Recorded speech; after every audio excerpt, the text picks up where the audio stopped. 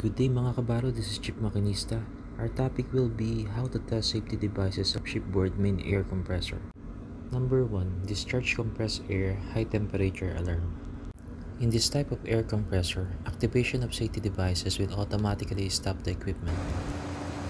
Start the main air compressor. While the air compressor is running, pull out the sensing bulb of the thermal switch from the sensor jacket.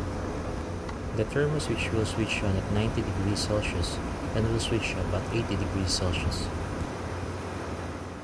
By using an electric air pot, heat water up to 98 degrees Celsius.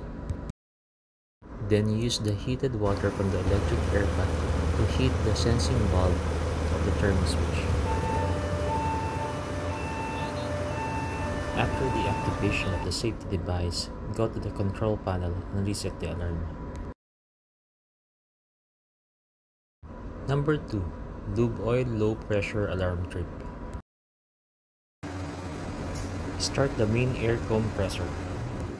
The working range for lube oil pressure is 0.2 to 0.4 megapascal. While the air compressor is running, close the valve leading to the lube oil pressure switch. Then slowly open the drain plug. The lube oil low pressure switch will give an alarm at 0.1 megapascal. After the activation of the safety device, go to the control panel and reset the alarm. Thanks for watching mga kabaro. Until next time.